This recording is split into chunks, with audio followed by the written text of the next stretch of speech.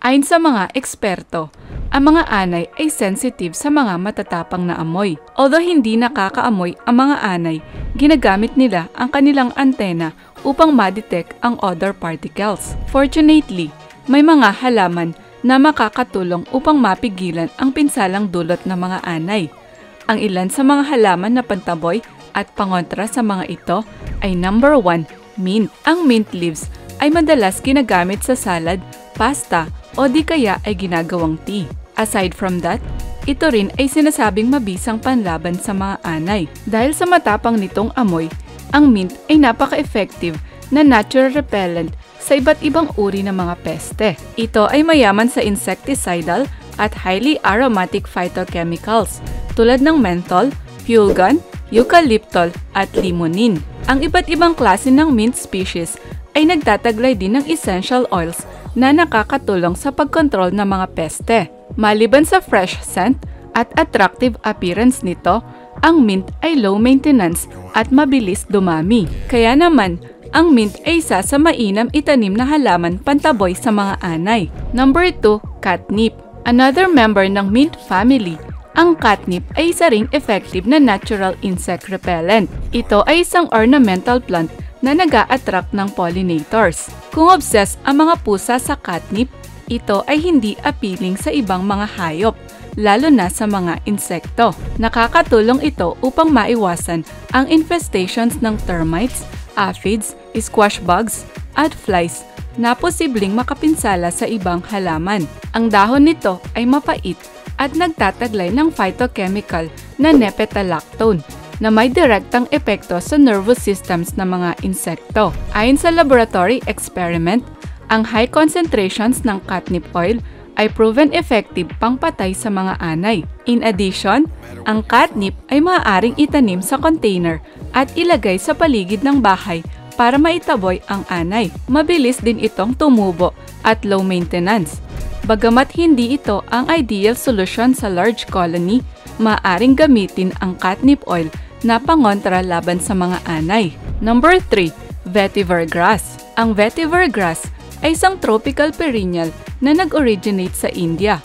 Ito ay hardy grass na may strong root system at nabubuhay rin ito sa iba't ibang klase ng temperatura at moisture conditions. Therefore, magandang itanim ang vetiver grass dahil ito ay low maintenance. Pero ang isa sa pinakamagandang features ng vetiver grass ay ang taglay nitong oils. Sa lahat ng halaman na nagtataglay ng oils na may insect repellent properties, ang vetiver grass ang may pinaka-promising effects bilang natural termiticide. Ang ugat nito ay nagtataglay ng essential oil na notkatone, isang natural compound ketone na toxic sa ilang klase ng subterranean termites o anay. Ang mga termite colonies ay hindi na makakagawa ng mga lagusan sa mga lugar na ginamitan ng vetiver grass oils. Hindi na rin nila kayang kainin ang mga kahoy at byproducts nito. Dahil sa strong root system nito, ang vetiver grass ay mabisang pangontra upang maiwasang magpugad ang mga anay sa ilalim ng lupa. Number 4, garlic. Generally, ginagamit ang garlic o bawang na pampalasa sa iba't ibang recipes. Maliban sa taglay nitong health benefits, ang bawang ay mabisa rin na pangontra sa mga insekto dahil sa matapang nitong amoy. Mayroong taglay na amino acids ang bawang na nagiging alisin, isang organic sulfur compound na effective pangontra sa anay. Kapag dinurog ang garlic cloves, tinitrigger nito ang production ng sulfur-containing phytochemicals na nagdudulot ng hot sensation. Ayon sa pag-aaral, ang katas ng bawang ay may kakayahang sugpuin ang mga anay.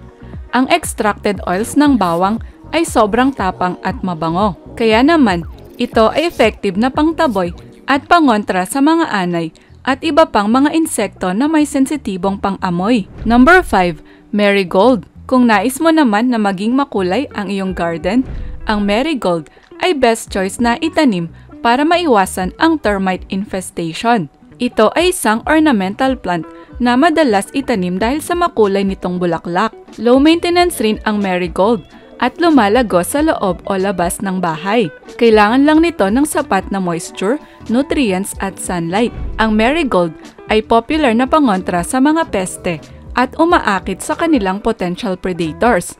Mayroong fragrant scent ang bulaklak at dahon ng marigold. Dahil dito, magandang gawing border plants ang marigold upang mapigilan ang mga anay na gumawa ng lagusan. Ang amoy ng marigold ay effective rin na bug repellent. Maaring itanim ang iba't ibang klase ng marigold sa paligid ng bahay at mga puno bilang proteksyon laban sa mga anay. Number 6. Painted Daisies Isa itong herbaceous perennial flowering plant na perfect itanim sa cottage garden.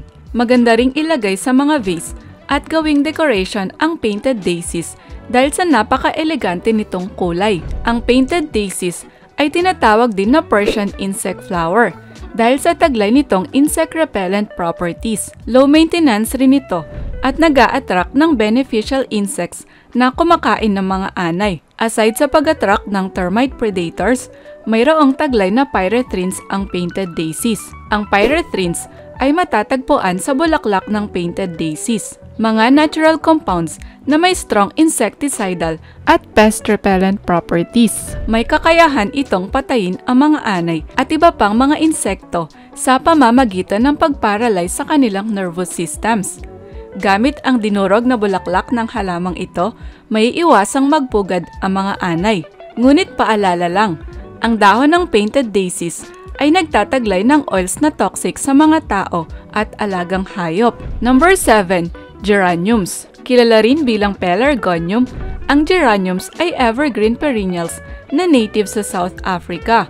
Ito ay popular bedding plants na nakakatulong sa pagkontrol ng mga anay kagaya ng painted daisies. Ang geraniums ay ornamental plants na kilala sa kanilang makulay na bulaklak at magandang dahon. Ina-attract nito ang mga beneficial insects na kumakain ng mga anay tulad ng mga alupihan, gagamba at ladybugs. Habang dumadami ang beneficial insects sa iyong bahay, mababawasan rin ang posibilidad ng termite infestations. Magandang itanim ang geraniums kasama ng iba pang flowering ornamental plants, kagaya ng catnip at marigold. Maaari itong itanim sa paligid ng bahay para lalong mapuksa ang mga anay. Higit sa lahat, ang geraniums ay low maintenance at drought tolerant kailangan lang nito ng moderate watering, regular fertilization, at full sunlight. Number 8.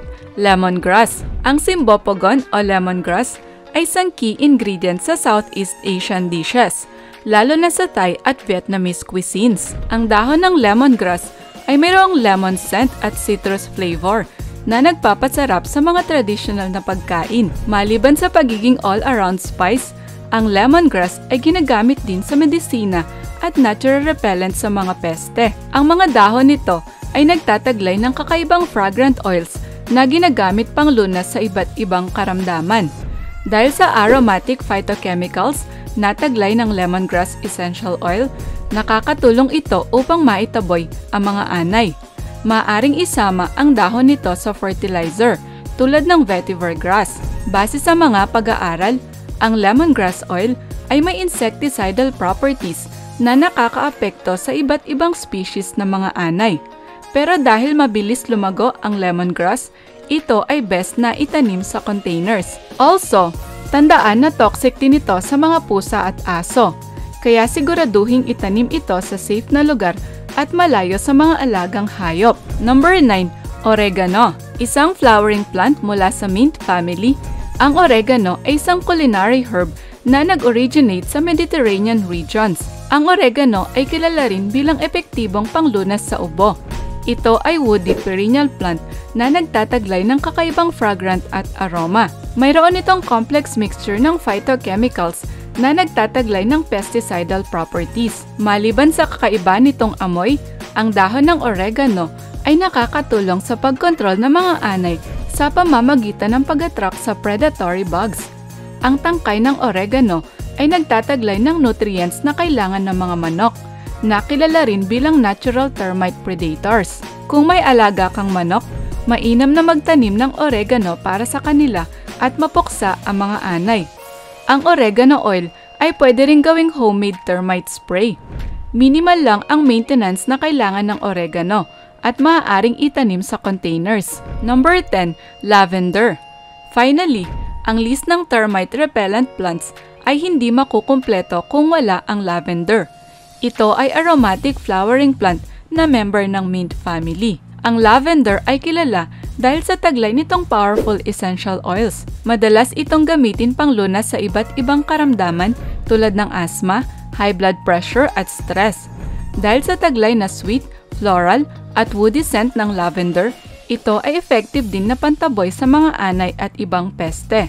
Ina-attract din ito ang mga predatory insects na kumakain ng anay tulad ng dragonflies. Ang lavender oil ay mayaman sa pesticidal phytochemicals. Ito ay nagtataglay ng linalool, isang natural terpene alcohol na nakakatulong sa pagkontrol at pagtaboy ng anay. Pinuprotektahan din nito ang iba't ibang klase ng kahoy, lalo na ang kahoy na paboritong kainin ng anay. Sa pamamagitan ng pagtatanim ng mga halamang ito, may tataboy at may iwasan magpugad ang mga anay sa bahay at hardin. Makakatulong din ang mga halaman na ito upang dumami ang mga predatory insects na kumakain ng anay. Ngunit kung malala na ang infestations, mas mainam na tumawag ng pest control upang puksain ang large termite colonies. Pwede ka ring bumili ng commercial products pantaboy at pangontra sa mga anay. Ikaw, alin sa mga halaman na ito ang meron kang tanim sa iyong bakuran?